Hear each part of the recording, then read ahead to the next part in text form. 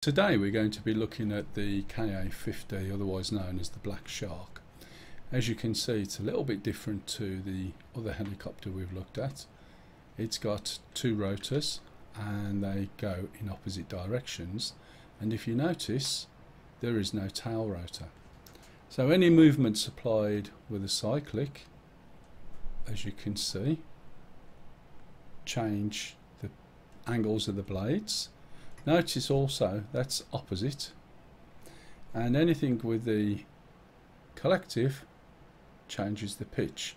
You might not be able to see that very well but if I change the angle you'll see the pitch changing of the blades very subtly and when I move the cyclic around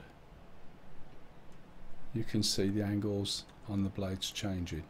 Now you'll also find that when you start using the rudders either with foot pedals or a twist grip you'll see not only does the rudder change but there's a very subtle movement in the blades as well.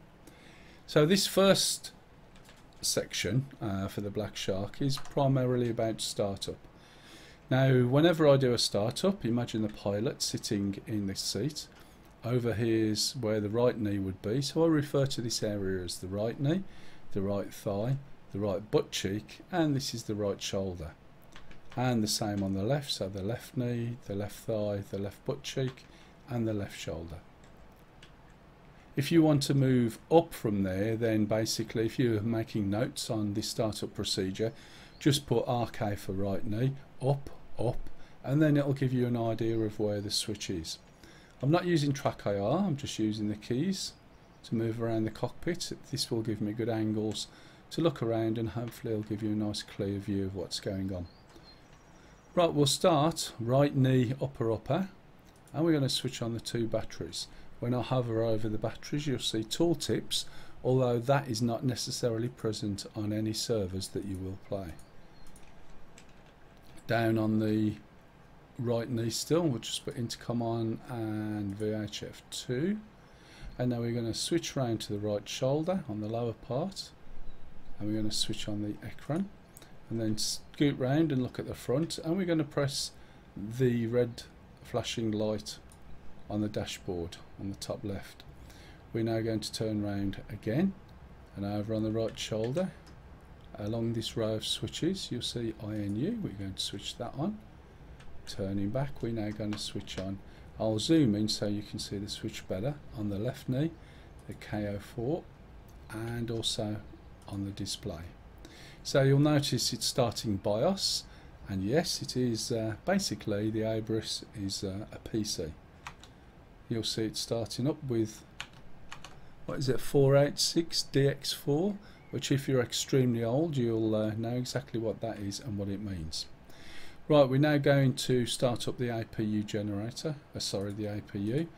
And the APU basically provides uh, power, enabling the fuels. This is all on the right thigh, upper, upper. We'll turn around to the left. Let's look at the left knee area. You'll find a start button here and this little toggle. When this toggle is in the middle, it switches on the APU. When it's on the bottom left, it's the left engine. When it's on the bottom right, it's the right engine. So now as we want to do the APU, we're just going to press the button once. And then we're going to take off the rotor brake. You'll hear a few noises. This is the APU firing up. All these lights will come on, that one, that one, and that one. And when that one's on, you'll see this drop down a little bit. And that means the APU is ready. Now, before I do anything else, I'm going to shut the door with right controls C because it gets a little bit noisy. Right, now we've got the APU going, we can start up the left engine. So we've got LH, the left engine, that's on the right butt cheek, upper upper, so it's where the engine control is. And then if we have a look along that row, we'll find the fuel shut-off valves, and we're going to switch up the fuel shut-off valve for the left engine. We're going to put the toggle, if you remember, on the left side, on the left knee. We're going to push that down to the left half or left engine. And then we're going to press the start button and then the fuel cut off. once that starts we'll see a gauge on there there's a needle with a number one and that will start running up till it hits around about 7 while we're waiting for that we're going to turn on another couple of switches. So we've got the standby SAI on. Look at the front. And we're just going to uncage the standby attitude indicator and set that up. Okay we can see the needle creeping round. It will be stable around about 700 remember this is revs so it's times 10 so that'll be 7000 revs that's for the engine by the way not the rotor. Once that's reached that point there we can see the temperatures rise there for the left engine. So now we can start the right engine in exactly the same way. So eh, here's the EEG on the end control panel which is on the right butt cheek and up.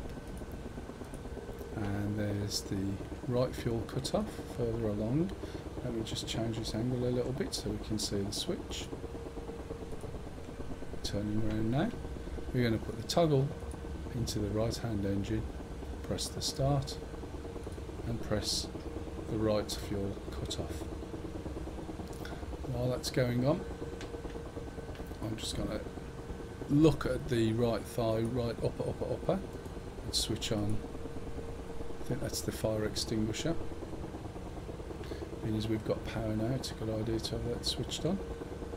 Check the uh, engines, see if this one's reached up to speed, which it hasn't yet, it's still on its way. As that's going you'll see the temperatures increasing from the exhaust gas, which is what this means, exhaust gas temperature.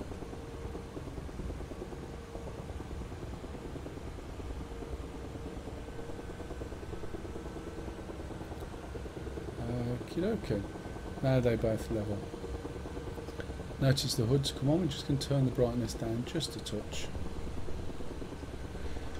Right now on the left butt cheek, this is effectively the throttle and there are no switches or buttons there. You have to either program the keyboard or a joystick button, but it's a bit of a waste of a button.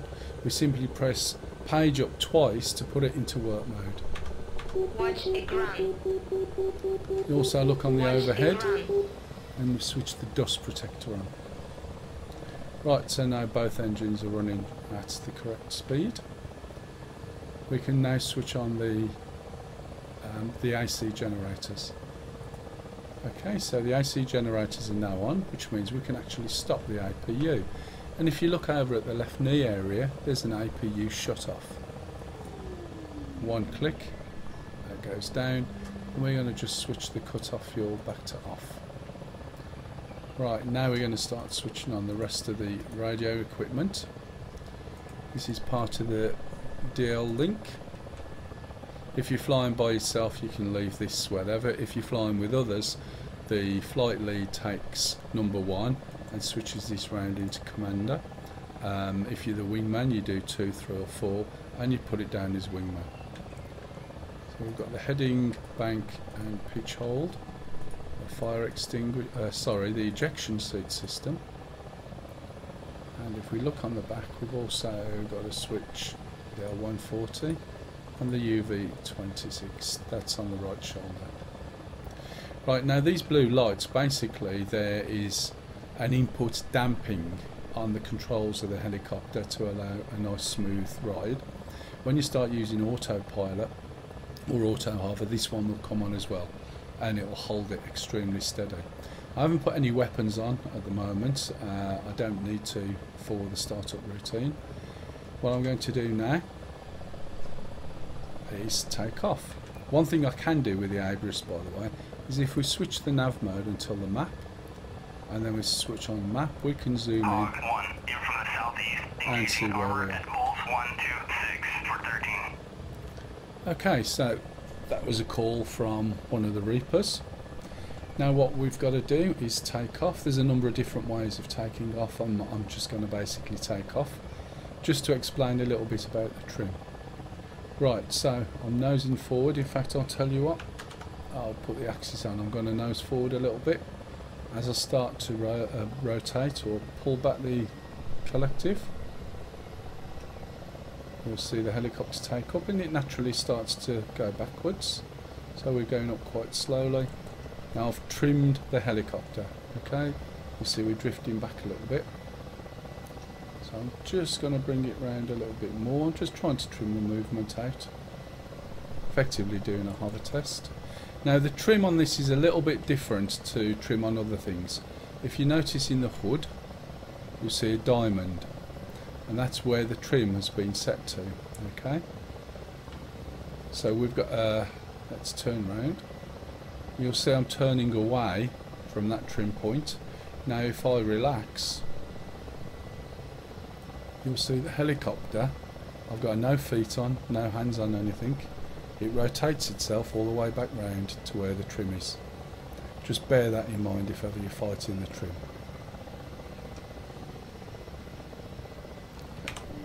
G for undercarriage now what I'm doing is coming over here